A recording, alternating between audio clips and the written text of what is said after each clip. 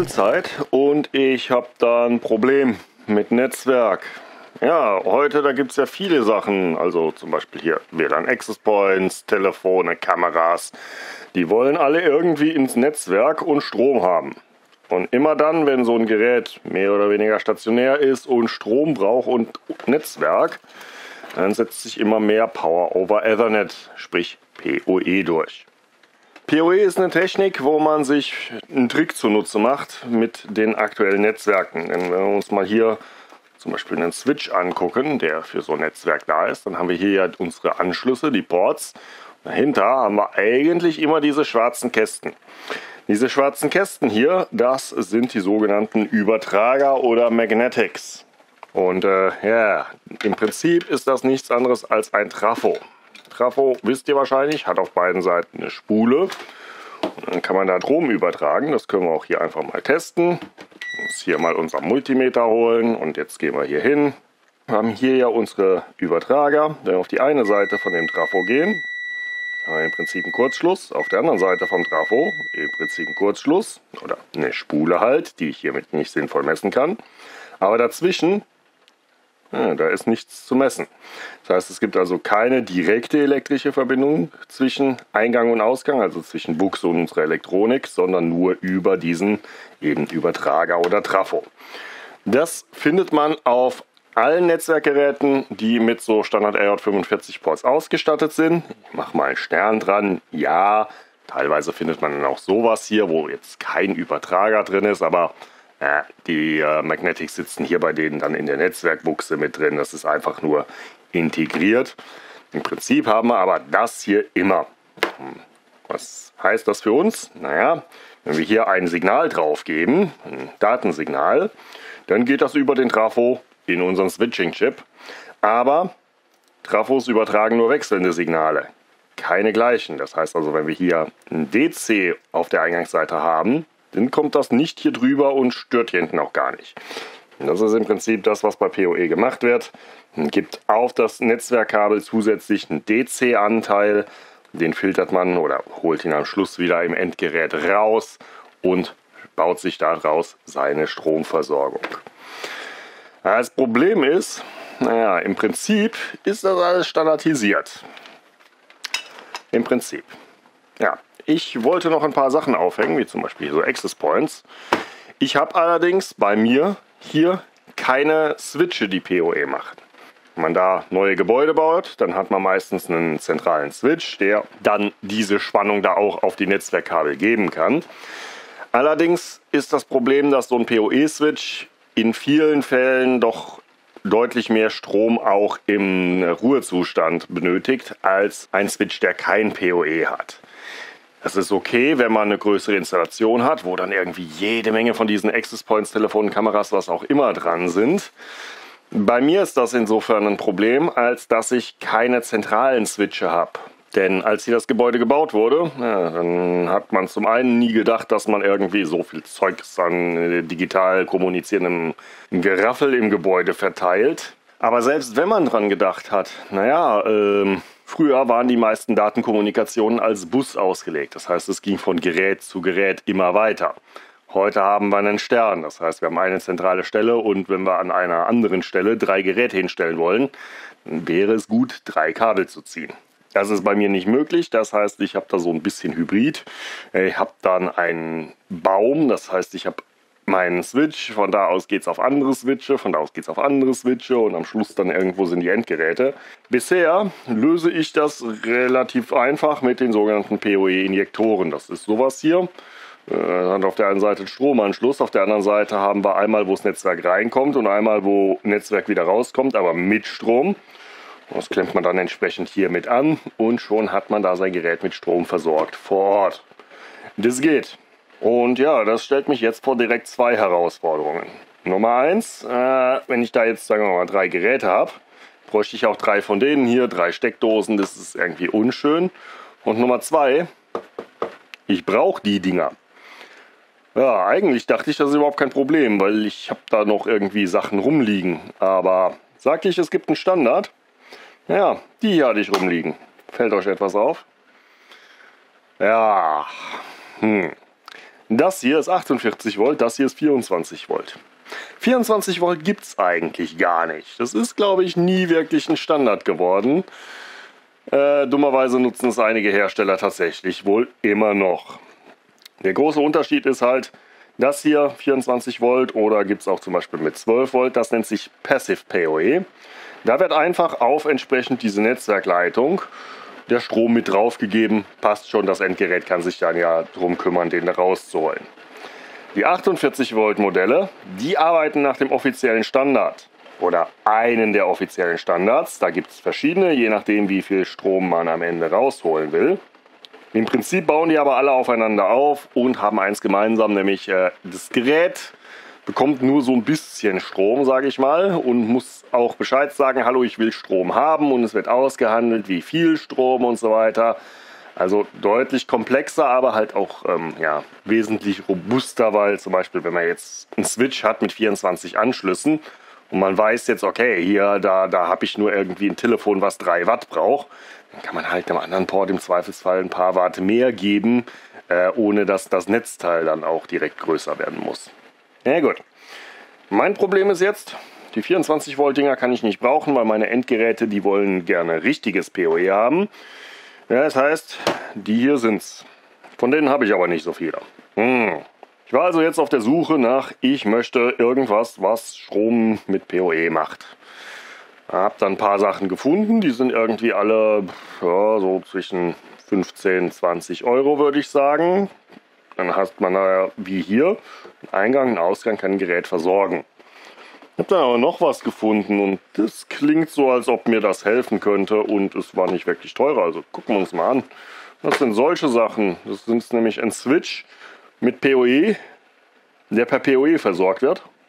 Okay, klingt auf jeden Fall interessant. Am Ende muss man natürlich mal gucken, wie viel Strom das Ding zieht. Das Ding hier jetzt mal als Beispiel von der Firma Tender, gibt bestimmt ein paar mehr, die das machen. Äh, ja, gucken wir mal, was man so kriegt und ob es am Schluss dann tatsächlich klappt. Im Prinzip könnte ich dann nämlich ja hingehen, könnte einen von diesen Injektoren holen.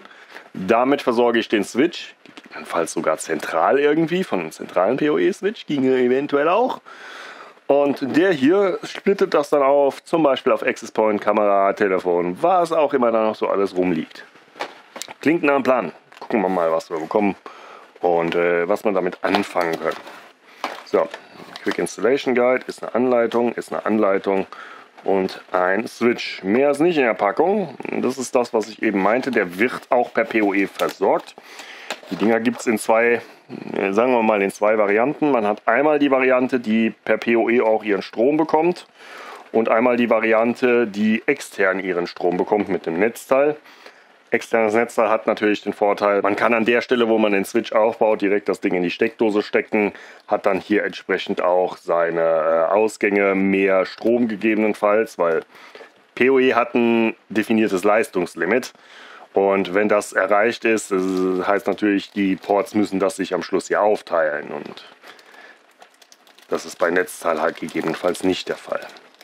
Ja, wie wir auch gerade eventuell schon entdeckt haben, das Ding hier hat entgegen meiner Vermutung nicht mal eine externe Buchse. Ich hätte jetzt erwartet, das ist dasselbe Gerät. Sie haben nur die Buchse, äh, das Netzteil weggelassen, aber die Buchse ist drin. Aber okay. PoE-Input 50 bis 57 Volt bei 0,6 Milliampere. Äh, wenn wir mal kurz hier gucken, die haben 48 Volt. Ne? Wie war das mit der äh, Standardisierung? Ja, es, es müsste dasselbe sein. Ich hoffe es zumindest mal. Ansonsten steht nicht viel drauf. Äh, wenn wir von vorne drauf gucken, ist ein 5-Port-Switch mit Gigabit. Das heißt also 1000 Mbit. Okay. Und wir haben hier einen Port, der ist PoE in und vier Ports, die sind PoE out. Das heißt also über den hier, das ist unser Uplink, worüber wir das Ding auch mit Strom versorgen. Und die anderen, da können wir unsere Geräte anklemmen. Was wir nicht machen können, das ist irgendeine Form von Management, also sowas wie VLANs oder so, das geht hier mit den Kisten natürlich nicht. Ich hoffe, dafür ist das Ding dann etwas genügsamer, was äh, so den Stromverbrauch auch angeht. Gut. Ich würde sagen, wir klemmen mal das Ding hier an, suchen uns ein passendes Netzwerkkabel. Dann gucken wir erstmal, ob der Switch dann überhaupt angeht hier. Dann suchen wir uns noch ein Netzwerkkabel und dann können wir mal gucken, ob der Access Point sich zum Beispiel von dem Ding äh, versorgen lässt. und natürlich mal was dazwischen klemmen, schauen, wie der Stromverbrauch aussieht. So, ich gehe mal Zeug holen. So, dann versuchen wir mal das Chaos hier etwas in den Griff zu bekommen. Erstmal alles auf Seite legen, was wir jetzt nicht direkt brauchen.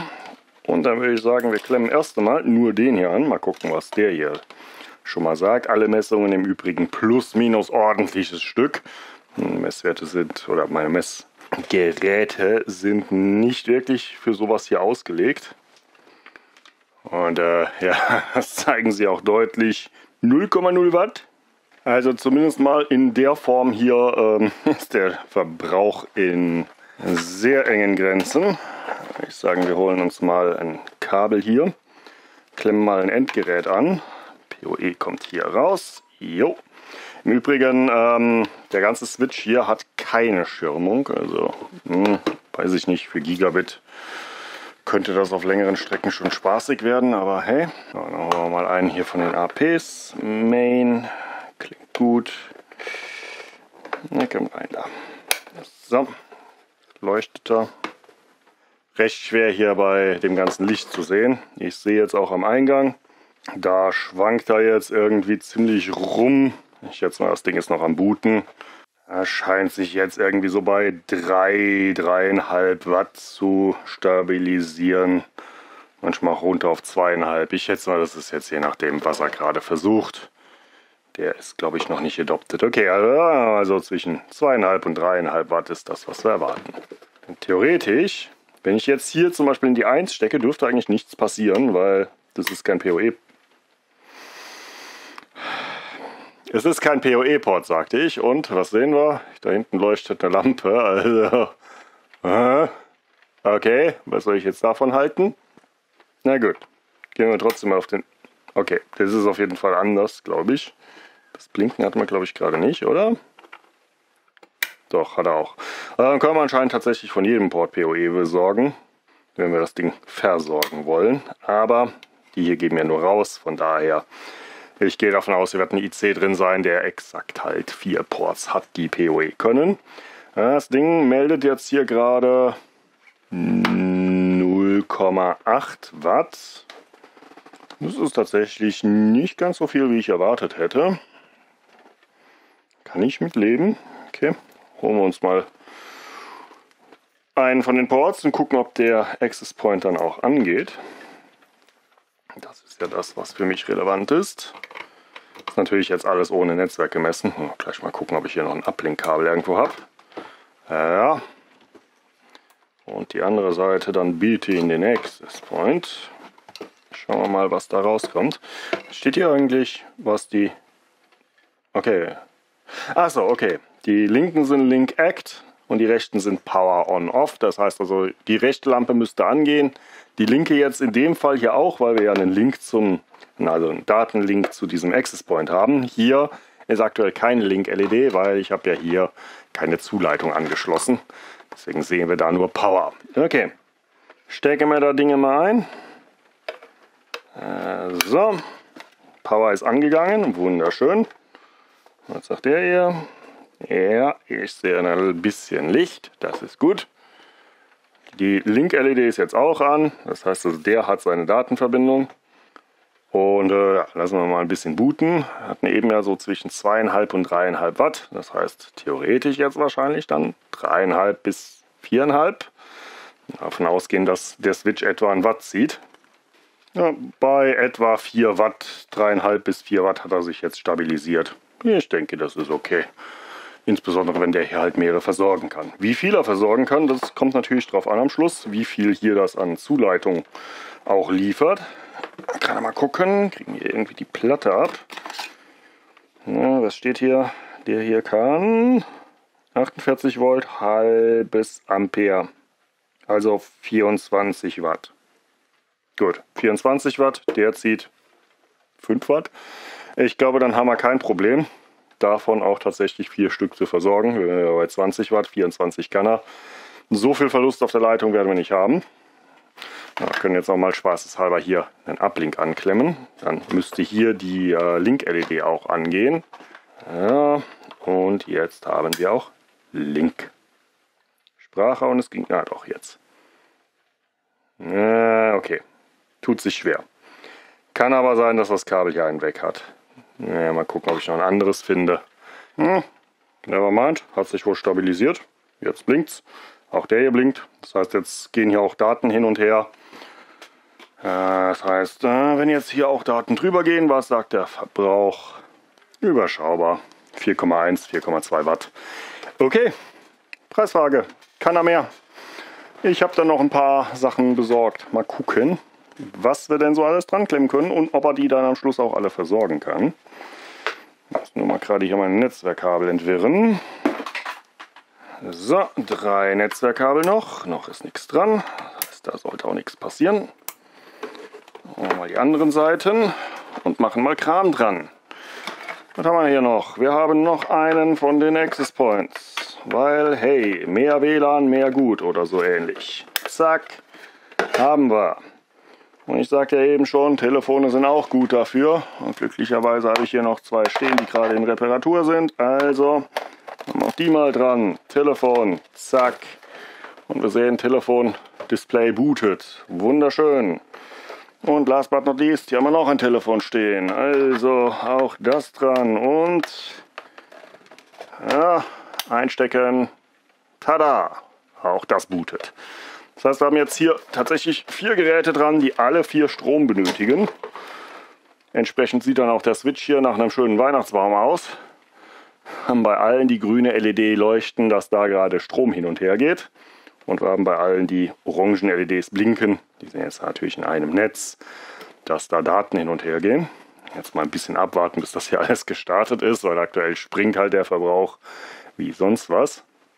So, und jetzt hat sich alles mal so ein bisschen stabilisiert. 13 Watt werden angezeigt, wobei die Telefone noch ihr Display angeschaltet haben. Also wenn die Hintergrundbeleuchtung aus ist, sollte das noch mal ein Stück runtergehen. Das denke ich für vier Geräte okay.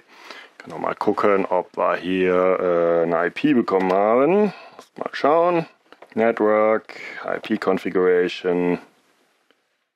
Und ja, wir sehen hier eine IP-Adresse 192.168 irgendwas. Das heißt also auch die Netzwerkkommunikation funktioniert. Wir können jetzt noch mal spaßeshalber hier gerade mal schauen. Habe ich hier eine Testanlage? Ja, habe ich. Ah, gerade hier so ein Telefon dran. Okay, das sieht doch schon mal ganz gut aus. Wir haben schon mal Datum und Uhrzeit und eine Info, wie ich heiße. Hooray! Müsste aber auch noch ein Logo kommen. Okay, Telefonie ist ausgefallen. Hm, das müsste aber funktionieren. Ah, da sind wir doch. Wunderschön. Äh, Dings ist da. Das heißt, theoretisch müssten wir jetzt sogar Anrufe machen können hier. Das heißt, äh, gucken wir mal. Mhm. Geben Sie die gewünschte Rufnummer ein. Sie sind dabei, einen Echo-Test durchzuführen. Hierbei wird alles, was Sie sagen, sofort als Echo zurückgeschickt. Der Zweck dieses Tests ist es, Ihnen ein Bild von der Latenz zwischen Ihnen und dem Asterisk-Server zu vermitteln. Um den Test abzubrechen, legen Sie auf oder drücken Sie die Raute-Taste. Test, Test, Test. Test. Wunderschön. Der Echo-Test ist beendet. Bitte geben Sie die gewünschte Rufnummer ein. Ja, ich würde mal sagen, die Dinger funktionieren. Fehlt natürlich noch eine Frage. Wie haben Sie das Ganze denn gemacht? Ich würde sagen, hier sind Schrauben und hier ist ein Garantiesiegel. Challenge accepted. Gucken wir mal ins Innere und schauen, was da so dahinter steckt. Ich erwarte halt einen Standard Switch IC, die haben meistens fünf Boards. Ich erwarte irgendwie eventuell einen separaten PoE-Controller. Die habe ich auch, glaube ich, schon mal als 4-Port-Variante gesehen. Das könnte hier natürlich auch hinkommen. Hm, natürlich die Ports mit Übertrager und dann vor den Übertragern eine Auskopplung für PoE. Äh, viele Dioden, um das PoE entsprechend rauszukoppeln. Und äh, ja, das dürfte soweit gewesen sein. Mit Glück haben wir tatsächlich auch noch eine Netzteilsektion, wo wir extern Spannung einführen können, wenn das halt relevant ist und man keinen PoE-Uplink irgendwo hat. Ja, wie gesagt, für mich erstmal nicht ganz so tragisch, weil ich möchte das ohnehin mit den Injektoren machen und das hier quasi nur als ja, Mehrfachstecker für die Injektoren nutzen. Yeah. Okay, das Warranty Seal ist definitiv hinüber. Da hätte ich wohl besser mit Heißluft dran gehen sollen.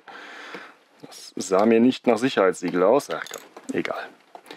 Wo bist du? Geh raus. So. Okay. Haben wir. Und Trommelwirbel. Tada! Hier sind wir. Ah, interessant. Hat also hier ja, den Switching IC, wie es aussieht. Hat okay, hier einen separaten IC, der wahrscheinlich dann den PoE-Kram macht. Zwei doppelte ähm, von den Übertragern, die jeweils zwei Ports machen. Das heißt, die ersten vier Ports sind das die PoE-Ports? Nee, noch nicht mal. Ha. Okay, also die vier Ports hängen jeweils an den doppelten und der hier ist separat geschaltet. Na gut. Ähm, geht hier rein. Ich schätze mal, der Rest wird auf der Unterseite sein. Die Auskopplung. Äh, hier sehen wir auch, das müssten... Hä? Ich wollte gerade sagen, das müssten eigentlich äh, Gleichrichter sein und sind es auch. Aber mich wundert es gerade, dass es nur zwei sind. Eigentlich hätten es ja vier bis Ach nee, Moment, haha. Für die hier werden für Strom rein sein. Okay, die sind für Strom rein. Also für die Versorgung des Switches. Deswegen haben wir nur zwei Stück. Und dann hier noch ein Netzteil, sogar mit mehr ICs, sind drei ICs. Hinten viele Sachen nicht bestückt, da können wir anscheinend auch LEDs einbauen. Und hier ist tatsächlich wohl das Ding, wo die externe Spannungsversorgung reinkommen könnte. Allerdings auch viele Sachen nicht bestückt. Also einfach Kabel anklemmen und extern versorgen ist hier bei den Dingern also nicht. Ist also durchaus auch ein Bestückungsunterschied mit dabei, was äh, die Varianten da betrifft. Das hier wie gesagt die Variante PoE Only und es gibt noch eine, die dann per Netzteil versorgt wird. Ja, schauen wir auf die Unterseite. Ich schätze, viel sehen werden wir nicht. Das hier wird ein Multilayer-Board wahrscheinlich sein. Allein schon, um die nötige Schirmung hinzubekommen. Oh, oh, oh. Unter den IC und was? Unter den Gleichrichterbrücken sitzt ein Wärmeableitgummi. Okay, den hätte ich da jetzt nicht erwartet. Oder ist da noch was drunter? Nö. Das sind einfach nur ein paar Kondensatoren. Was wir hier aber auf jeden Fall auf der Unterseite noch sehen, ist jede Menge Dioden. Das ist das, was ich eben meinte. Wir haben Sicherungen tatsächlich. Okay, immer gut. Und sogar noch mal einen IC hier. Okay, mal ein paar Bilder an. Schauen wir mal, was sie hier verbaut haben. So, dann schauen wir uns den Switch mal an, was wir hier an Hardware verbaut haben. Und äh, ja, nur so mäßig erfolgreich. Wir können auf jeden Fall schon mal den Switch in drei Teile zerlegen. Hier dieser ganze Part, den wir hier sehen, das ist offensichtlich irgendeine Art von Stromversorgung. Da wird hier äh, an verschiedenen Stellen die Eingangsspannung gleichgerichtet, äh, wahrscheinlich umgewandelt, sodass wir da auch die Spannungen für den Prozessor und so haben. Und äh, ja, ansonsten geht es hier hinten in diesem Part eher um PoE. Da wird also die Spannung aufbereitet für die vier Ports, hence der 4D-Runden wahrscheinlich, die dann entsprechend wieder nach draußen geführt wird. Der restliche Part hier oben, das ist das eigentliche Switching. Das heißt, wir haben hier unseren großen Switch-IC, der ist angebunden an die vier Ports. Wie gesagt, Zweier Magnetics hier für die ersten vier Ports und der letzte hier, der hat nochmal eine einzelne Magnetics. Auf der anderen Seite, wenn wir das Ding mal rumdrehen, da ist nicht mehr ganz so viel drauf. Wir haben hier nochmal Sicherungen für die vier Ausgänge. Ich gehe sehr stark davon aus, dass die irgendwie auch nochmal in Software geregelt sind, weil das hier sieht mir nicht nach Self-Resetting aus. Das heißt, wenn die durchbrennen, sind sie kaputt. Aber 1,5 Ampere klingt mir auch ein bisschen viel für äh, so einen Ausgang. Interessant sieht man auch hier das Design. Wir haben hier die große Ground Plane. Ne? Und aus der Ground Plane splittete es sich dann in diese vier Pfade auf, die wir hier haben. Äh, ich gehe davon aus, die machen da noch so ein bisschen Current Measurement, um äh, zu gucken, dass da der Strom nicht zu hoch wird. Ansonsten haben wir ja gesehen, unter dem Prozessor und unter den Gleichrichtern anscheinend ist jeweils noch ein großes Wärmeleitpad, ein paar Dioden und ein IC. Ich würde sagen, mit dem IC fangen wir auch direkt mal an, einfach weil der relativ simpel ist. Wenn wir nämlich mal drauf gucken, 74 HC164. Ich würde sagen, 74er Logik ist jetzt keine große Herausforderung. Wenn wir hier reingucken, das ist ein 8-Bit Shift Register. In dem Fall hier, wenn wir runter gucken, seriell kommen die Daten rein, parallel gehen sie raus. Das heißt also, wir können uns mehr Ausgänge schaffen. Äh, ich könnte mir vorstellen, dass man das irgendwie für LEDs oder so benutzt, wo es nicht wirklich auf Geschwindigkeit ankommt. Wenn wir hier gucken, hier gehen ja auch Ausgänge irgendwie auf irgendwelche Widerstände. Äh, irgendwie sowas. Ansonsten auf der Rückseite nicht mehr wirklich was zu sehen, also gehen wir mal auf die Vorderseite. Und da ist unsere Ausbeute leider nicht ganz so gut. Ich meine, das hier ist relativ klar, das sind Vollbrückengleichrichter, die dann die Eingangsspannung machen. Dann haben wir hier und hier jeweils einen IC, die irgendwelche Schaltregler sind, hier mit jeweils einer Spule, einem Filter, Elko. Ähm, Problem ist, da komme ich nicht wirklich weiter. Hier oben der eine, der heißt BRC R39 969, der andere ANUR 104 Konnte ich beide nicht finden. Prinzipiell sehen wir aber, was hier gemacht wird. Äh, der hier, der macht offensichtlich 48 Volt. Hier steht ja ein Testpunkt. Das heißt also, der kümmert sich um die Spannung, die wir am Ende für PoE brauchen. Und der andere, da haben wir einen Testpunkt für 3,3 Volt. Das wird dann die Spannung sein, die wir hier für den Rest vom Board benutzen. Und last but not least, hier gerade abgeschnitten am oberen Bildrand, da sitzt noch ein Linearregler, schätze ich, runter auf 1 Volt hier bei dem Testpunkt. Es wird nochmal irgendeine zusätzliche Core-Spannung sein, um entsprechend da den Switch zu befeuern. Das heißt also, die beiden haben wir abgedeckt, äh, den haben wir abgedeckt. Dann bleiben uns noch drei bzw. vier ICs. Der große, der kleine und die beiden hier. Fangen wir mal mit dem an, weil den kann ich wiederum finden. Das ist ein IC Plus IP804AR und den können wir tatsächlich online finden, hier auf der Herstellerwebseite. Ein 4-Port PSE-Controller, also Power Sourcing Equipment, speziell für PoE. Vier Ports, jo, wir haben vier Ports nach draußen, die PoE auch rausgeben können. Interessant dabei, wenn wir hier auf die Features gucken, äh, das Ganze ist 203 AF Requirements kompatibel und AT, das ist alles super. Maximal 36 Watt pro Port. Aber was für uns interessant ist, es gibt hier einen I2C-Bus, wo man die Stromstatistiken rauslesen kann und auch ein bisschen Power Management betreiben kann. Das wird hier anscheinend nicht benutzt. Das heißt aber, wenn wir irgendwie extern an die I2C-Pins gehen würden, dann könnten wir tatsächlich hier das Ding so ein bisschen kontrollieren. Was man auf der Herstellerwebseite hier leider vergeblich sucht, das ist irgendwie mehr Informationen oder ein Datenblatt. Aber glücklicherweise schwirrt da im Internet was rum. Nämlich ein komplettes Datenblatt, 60 Seiten oder knapp 60 Seiten mit der kompletten Info. Okay, wir brauchen also Input hier 44 bis 57 Volt. Jo, die haben wir ja schon durch unseren äh, PoE Supply. Ein Built-in EEPROM Interface for Dump Applications also wenn man keinen Mikrocontroller hat, der das Ding konfiguriert, kann der sich das auch aus einem Speicher ziehen. Und speaking of komplizierter, dann nehmen wir mal den großen. Ein MediaTek MT7530BU. MediaTek, sehr bekannter Hersteller aus dem asiatischen Raum. Äh, ja, gibt nur ein kleines Problem. Keine Daten. Yay. Online findet man zu dem Chip leider so ziemlich gar nichts. Ich habe ein Datenblatt gefunden von einem Switch, der den Chip benutzt. Das heißt, ich gehe davon aus, dass das dann auch für den IC selber gilt. Da steht eine Switching Capacity von 10 Gigabit. Das heißt also, wir können fünf Ports in beide Richtungen mit voller Leistung befeuern. Das klingt gut. Aber die Funktionen, die klingen auch interessant. LACP, QoS, SNMP, Stackable und VLAN-Support. Ja, das hätte ich auch gerne. Das Problem ist, dafür bräuchte man dann halt wieder Management und äh, der Switch hier hat, zumindest nach dem, was ich sehe, leider kein Management. Wir könnten hier ein bisschen rumbasteln, denn wenn wir mal in den Linux-Kernel gucken, der Linux-Kernel supportet das Ganze. Das heißt, wir haben hier unsere Definition für diesen MT7530. Die wurden auch direkt von Mediatek geschrieben. Das heißt, wir können eigentlich davon ausgehen, dass das äh, zur Hardware auch passt.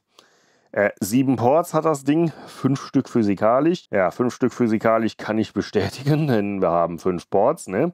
Und die beiden anderen, das ist dann Management in Richtung von einem Mikrocontroller oder ähnliches, um da die Dinge zu machen. Wenn wir mal runtergehen, dann sehen wir auch hier zum Beispiel, kann hier Mirror Ports setzen, das ist fürs Debugging interessant und auch andere Sachen. Irgendwo hatte ich hier zum Beispiel, genau, die WLAN-IDs die man hier setzen kann. Das heißt, theoretisch kann das Ding faulern, wir haben nur keine Ahnung wie. Wir könnten es jetzt durch den Treiber reversen, allerdings wird es wahrscheinlich schwierig dran zu kommen, denn äh, der Chip scheint mir nicht I2C zu benutzen, sondern MDIO, das ist Management Data Input Output. Es ist ein Zweidraht-Ich Interface zu dem Ding, wo man Register setzen und lesen kann. Das müsste man per Bitbanging mit Glück machen können. Aber ja, habe ich auch so noch nie mitgearbeitet. Das heißt also, auch der bleibt uns ein bisschen schwammig. Bleiben noch diese beiden hier, da und da. Das sind die gleichen ICs. Das sind ICs, die stellen mir tatsächlich gerade noch so ein paar Fragen. Wenn wir mal hier reingucken, FT24C08A. Äh, 24C, ne, klingelt's? Das sind einfach EPROMs. Ja, ein Kilobyte an Daten. Und das an zwei Stellen. Und diese zwei Stellen sind auffällig nah bei diesen ICs, ne? Ich würde fast schätzen, dass die Konfiguration, wie das Switching der Ports funktioniert, wie viel Strom die kriegen und so weiter, in diesen beiden Chips hier liegt und wir da tatsächlich die Konfiguration im Zweifel sehen können. Aber leider nicht viel mitmachen können. Denn wie gesagt, die Hardware selber scheint von dem, was ich sehe, deutlich mächtiger zu sein als das, was man uns hier zur Verfügung stellt. Aber es gibt halt leider keine sinnvolle Doku. Und das ist halt etwas, was sehr, sehr traurig ist, denn ich hätte es auf jeden Fall gefeiert, wenn man jetzt hier plötzlich so einen sehr günstigen PoE-Switch hätte, der tatsächlich dann auch zum Beispiel VLANs unterschiedlich noch verteilen kann. Gerade, äh, ich hatte ja Beispiel gegeben, Kamera, Telefon, Access Point, das sind Dinge, die man jetzt wahrscheinlich eher in drei verschiedene Netze sortieren würde. Aber wie gesagt, ohne Doku eher schwierig. Schade. Ja, das Ding scheint also meine Zwecke jetzt erstmal zu erfüllen. Man muss natürlich im Hinterkopf behalten, dass dies nicht ideal. Ein zentraler Managed Switch ist immer die bessere Wahl. Hier hat man mehrere Probleme, die man sich dadurch einhandelt oder Sachen, die einem eventuell auf die Füße fallen können. Nummer eins, alle Geräte hier, die hier dranhängen, teilen sich natürlich ein Gigabit. Das heißt, wenn hier ein PC oder irgendwas dranhängt oder ein WLAN Access Point, und der macht gerade einen Gigabit Traffic, ja, dann haben die anderen so ein bisschen das Nachsehen. Ich kann also nicht zwei Gigabit-fähige Access Points dranhängen und erwarten, dass die beide die äh, volle Bandbreite dann nutzen können. Da ist dann der Uplink der limitierende Faktor. Wie eben schon gesagt, auch limitierender Faktor ist der Strom. Ich kann hier nicht vier High-Powered Devices dran machen, wenn meine Zuleitung das nicht mitmacht. Und was man auch im Hinterkopf behalten muss, es gibt hier kein Management. Alles ist in einem Netz und man kann es auch nicht irgendwie separat steuern. Das heißt also, während ich bei einem zentralen Switch hingehen kann und sagen kann, okay, hier an dem Port hängt irgendwie ein Telefon, was gerade Probleme macht, machen wir da mal remote den Strom aus und dann machen wir den Strom wieder an und dann startet das Telefon einmal neu, ohne dass ich meinen Sitzplatz verlassen muss. Das geht hier nicht. Das Einzige, was ich machen kann, ist halt die Zuleitung einmal aus und wieder einschalten. Dann sind aber alle Geräte betroffen. Ansonsten, die Zeit wird zeigen, ob das Ding wirklich durchhält. Ich hatte in der Vergangenheit ja schon leider häufiger mal so ein paar Switche, die irgendwie mittendrin dann vergessen haben, wie sie switchen sollen. Im Sinne von äh, plötzlich war der Link nur noch 100 Mbit oder war komplett down, weil irgendwie mal eine Störung da drauf war und das Ding Schluck aufbekommen hat. Hoffe, das passiert hier mit dem nicht. Wenn was ist, äh, werdet ihr es in den Kommentaren unten erfahren, dann werde ich es nochmal nachtragen. Ansonsten hoffe ich einfach, dass der hier fürs Erste jetzt das tut, was er soll.